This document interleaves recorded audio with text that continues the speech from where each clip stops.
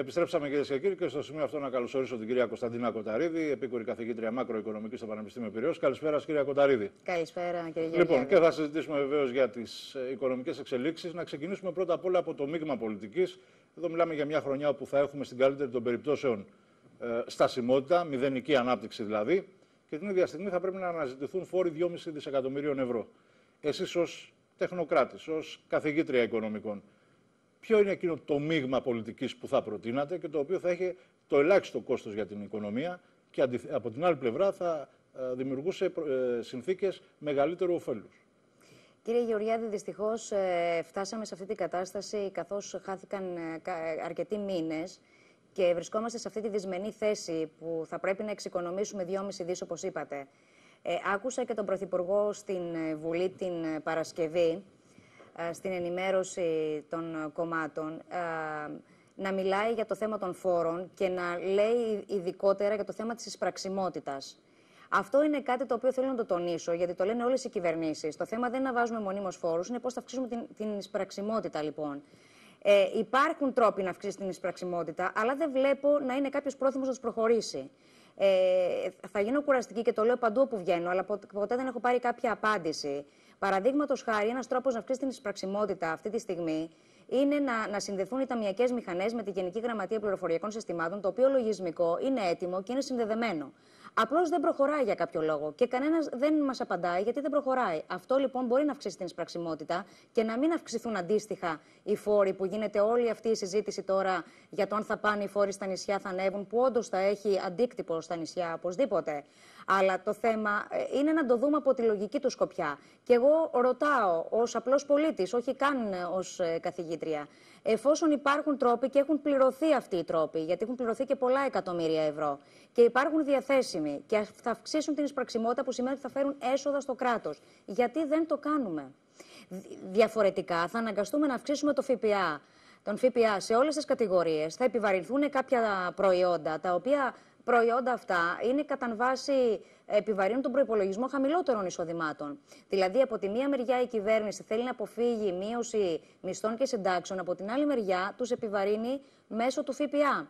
Άρα πρέπει να κινηθούμε προς μια εξορθολογικοποίηση, όπως λέμε, των εξόδων του δημοσίου. Διότι οι δαπάνες του δημοσίου είναι διάφορες. Είναι, ας πούμε, και τα κτίρια τα οποία δεν εκμεταλλεύεται το δημόσιο και χάνει έσοδα. Είναι διαφυγόντα έσοδα, ενώ από την άλλη νοικιάζει κτίρια και δίνει ενίκεια. Αυτό μπορεί να εξοικονομήσει από εκεί χρήματα δαπάνες. Όχι όμως να εξοικονομούμε δαπάνες μην πληρώνοντας τους προμηθευτές μην πληρώνοντας εργολάβους που έχουν κάνει τη δουλειά τους, μην πληρώνοντας παραδείγματος χάρη τα διαγνωστικά κέντρα, μην πληρώνοντας το όλο τον ιδιωτικό τομέα, ακόμα και το πετρέλαιο θέρμανση, κυρία πώς, Γεωργιάδη. Πώς το εξηγείτε αυτό, εντάξει, υπάρχει μια πολιτική επιλογή, μια προτεραιότητα, μισθή συντάξεις. Άντε να πληρώνουμε και κανένα ομόλογο που λύγει, έντοκα γραμμάτια. Ε, Πώς το εξηγείτε αυτό από τη στιγμή που γνωρίζει και ένας πρωτοετής φοιτητής των οικονομικών, για να μην πω τώρα της πολιτικής οικονομίας στην τρίτη ηλικίου, ότι οι πολλαπλασιαστές των επενδύσεων λειτουργούν πολύ πολύ ταχύτερα από το να περικόψει 200-400 εκατομμύρια από τις συντάξεις. Ακριβώς, ναι. Και ναι. υπό την έννοια ότι υπάρχει και ε, ηρεμία στην οικονομία, έτσι. Πώς το εξηγείτε εσείς αυτό; Ε, κοιτάξτε, εδώ θα φύγουμε, κύριε Γεωργιάδη, από τα οικονομικά και θα πάμε λίγο στην πολιτική υπόθεση της ιστορίας. Και δυστυχώς, ε, πολιτικά, ε, εγκλωβίστηκε εξ αρχής η κυβέρνηση σε αυτή τη ρητορική με την κόκκινη γραμμή των μισθών και των συντάξεων.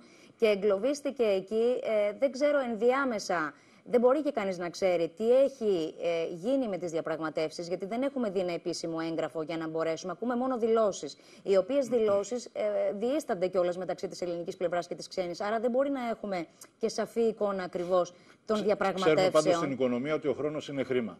Και νομίζω ότι με τη στασιμότητα και την αβεβαιότητα που υπάρχει, μήπως διακινδυνεύουμε μεγαλύτερες περικοπές σε ένα παραπέον ασφαλιστικό σύστημα. Ε, ένα σύστημα κοιτάξτε, που δεν θα αντέξει πέρα από δύο χρόνια. Δεν χωράει αμφιβολία. Γι' αυτό είπα προηγουμένως ότι από τη μία προσπαθείς να διασώσεις μισθούς και συντάξεις για να διαφυλάξεις χαμηλότερα εισοδηματικά κλιμάκια. Από την άλλη όμως η ύφεση που επέρχεται στην οικονομία είναι το μεταξύ.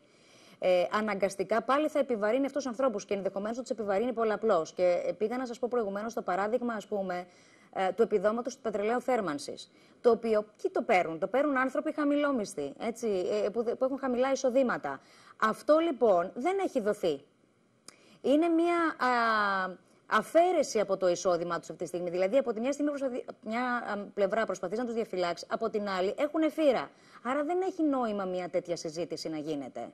Ε, όσο χάνουμε χρόνο, όσο το, αυτό που είπατε είναι πάρα πολύ σωστό, διότι όσο χάνουμε χρόνο, ε, η οικονομία πέφτει σε βαθύτερη ύφεση και θα είναι πολύ πιο δύσκολο να βγούμε. Ξέρετε, υπάρχει αυτό το σπιράλ, έχω ξαναπεί, ότι ο μεγάλος μου φόβος δεν είναι να μην βγούμε από το ευρώ. Ο μεγάλος μου φόβος, ε, και το λέω μήνες τώρα, είναι να πέσουμε στην παγίδα της φτώχειας εντός ευρώ.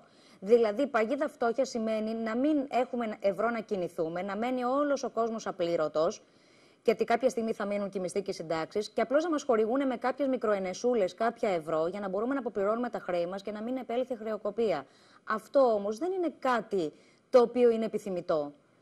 Ε, Επομένως, δεν καταλαβαίνω όλη αυτή την. Ε, και νομίζω έχει αρχίσει και ο κόσμος να κουράζεται πια με όλη αυτή την αβεβαιότητα που επικρατεί. Και θα ήθελα να μιλήσουμε, ε, αν μου επιτρέπετε, για όλο αυτό το χαμένο διάστημα. Παραδείγματος χάρη και για το ΕΣΠΑ. Να πάμε σε αυτό το σημείο να δούμε. Έχουμε μπροστά μας έχουμε πολλά βήματα. Έχουμε συμφωνία. Ε, πρέπει να αποδείξουμε ότι έχει αποτελέσματα αυτή η συμφωνία και πρέπει να κρυθεί στην πράξη. Και πρέπει επιτέλους κάποια στιγμή να βάλουμε κάτω τα πράγματα και να πούμε ποιο αναπτυξιακό μοντέλο, ποιο αναπτυξιακό όραμα έχουμε για αυτήν εδώ τη χώρα. Ένα εργαλείο είναι το ΕΣΠΑ, το οποίο και αυτό έχει παγώσει. Αυτό... Τι πρέπει να κάνουμε, πού πρέπει να προσανατολιστούμε αυτό, αυτή τη στιγμή, με σημείο αναφοράς, και εδώ το, θέλω να πω ότι το επισημαίνεται συνεχώς ως ακαδημαϊκός, με σημείο αναφοράς τι άλλο το εκπαιδευτικό μας σύστημα. Ναι, ασφαλώς. Αυτή τη στιγμή το ΕΣΠΑ είναι το μόνο που έχουμε διαθέσιμο και είναι τα μόνα κονδύλια που υπάρχουν διαθέσιμα και θα μπορούσε να κινηθεί η οικονομία και να μην επέλθει αυτή η ύφεση. Ε, αυτή τη στιγμή λοιπόν το ΕΣΠΑ έχει παγώσει.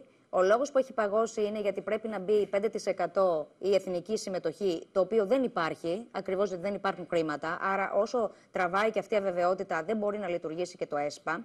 Και υπάρχουν και κονδύλια από την προηγούμενη χρονιά, από το προηγούμενο ΕΣΠΑ που κινδυνεύουν να χαθούν. Και εγώ έχω να κάνω μία πρόταση και μου κάνει φοβερά, η φοβερή εντύπωση που ε, δεν έχει ακουστεί μέχρι στιγμής.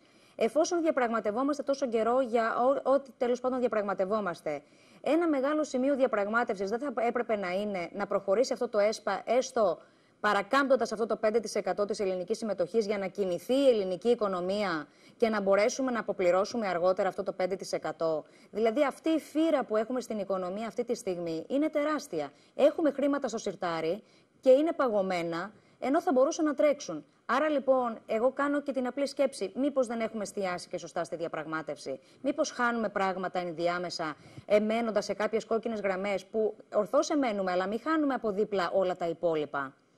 Θέλω να πω, χρειάζεται μια συλλογική σκέψη και μια στρατηγική σκέψη σε όλο αυτό το πράγμα. Διότι αν είναι να σώσεις ένα και να χάσεις πέντε, δεν έχει νόημα στρατηγικά πώς πρέπει να λειτουργήσουμε από εδώ και πέρα στο κομμάτι της ανάπτυξης. Έστω αν έχουμε πολλά κομμάτια στο τραπέζι, στο puzzle, θέλουμε να μην, κάνουμε, να μην κλείσουμε τις δημοσιονομικές τρύπες που έχουμε.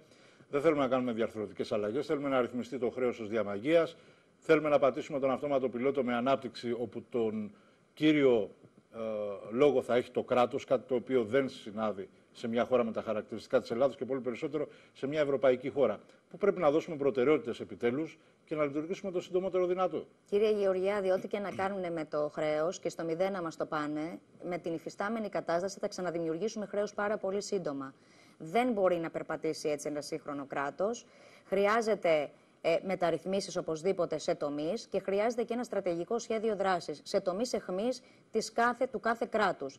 Ένας τομέας ε, εχμής που έχουμε εμείς είναι ας πούμε ο τουρισμός, ο οποίος και αυτός κινδυνεύει σήμερα. Έτσι, υπάρχει υστέρηση στο σύνολο της χώρας. Υπάρχει αύξηση στον τουρισμό όσον αφορά στην Αθήνα, όμως στο σύνολο της χώρας υπάρχει ε, μείωση των κρατήσεων, αν το δούμε συνολικά. Αυτό λοιπόν είναι κόστος για τη χώρα. Αλλά λέμε για τον τουρισμό θα έπρεπε να εξειδικεύσουμε σε ποιοτικό τουρισμό και όχι σε τουρισμό παραδείγματος χάρη, το all inclusive, με το βραχιολάκι λοιπόν, που έρχονται με πολύ λίγα χρήματα και έχουν όλες τις υπηρεσίες. Κάποιοι Αυτό... έρχονται εδώ, ξεμένουν από λεφτά, παίρνουν μια Μα δεν, αποφέρει χρήμα... Μα δεν αποφέρει χρήματα αυτός ο τουρισμός. Θέλεις λοιπόν, να σας πω ένα παράδειγμα. Η νίκαια της Γαλλίας είναι γεμάτη σκάφη με ανθρώπους που έχουν πάρα πολλά λεφτά και αφήνουν εκεί πάρα πολλά λεφτά. Δεν καταλαβαίνω τι το καλύτερο έχει η Νίκαια από όλη την ακτή που έχουμε εμείς που απλώνεται από το Φάληρο μέχρι το Σούνιο.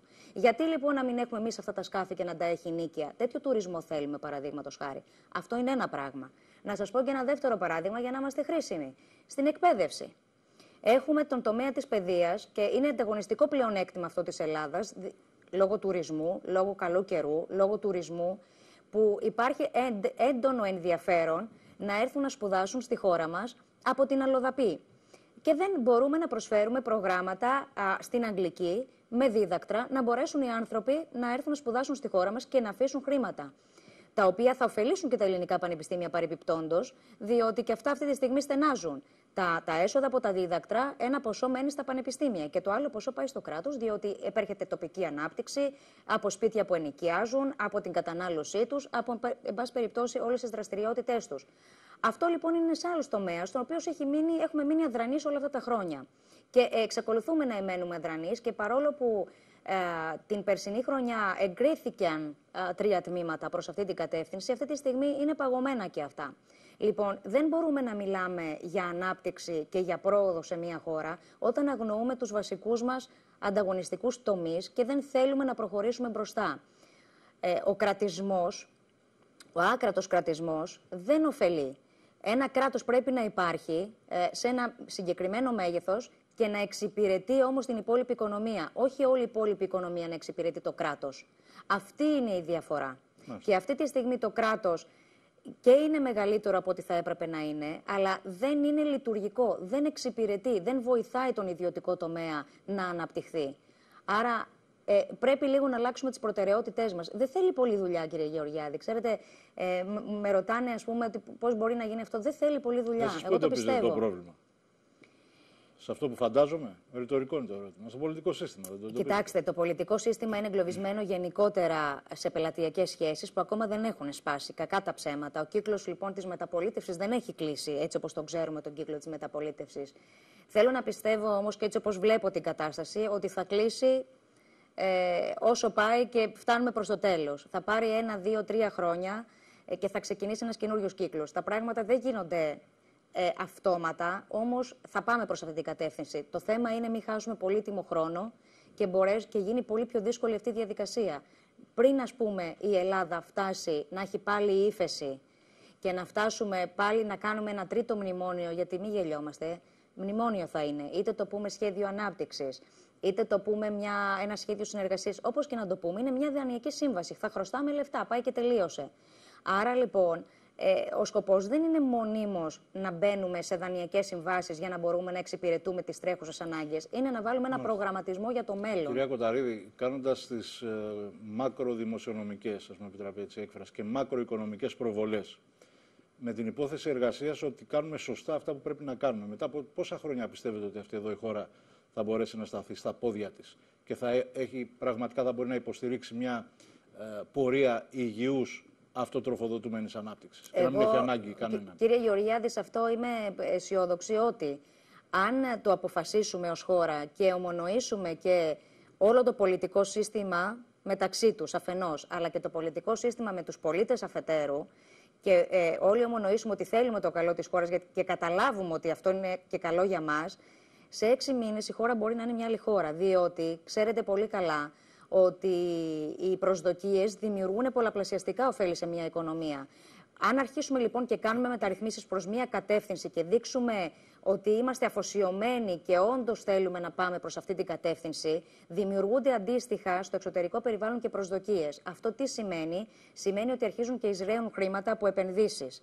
Οι επενδύσεις, όπως πολύ σωστά είπατε στην αρχή της συζήτησής μας, δημιουργούν πολλαπλασιαστικά ωφέλη, διότι δημιουργούν θέσεις εργασίας. Οι θέσεις εργασίας δημιουργούν εισόδημα. Το εισόδημα αυτό ξοδεύεται στην αγορά, πάνε σε άλλα εισοδήματα και ούτω καθεξής.